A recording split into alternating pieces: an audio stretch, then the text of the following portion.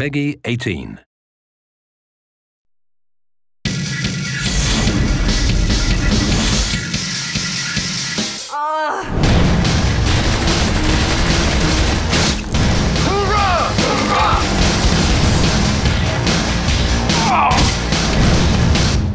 Hey, Zimos.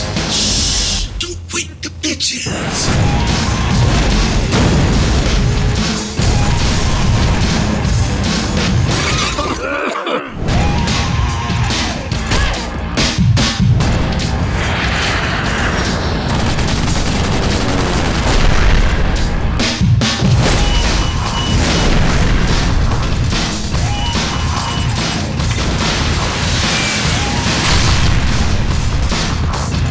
Burt fucking Reynolds?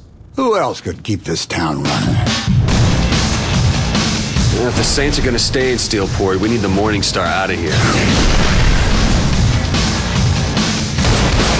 Put in your tampons and let's do this.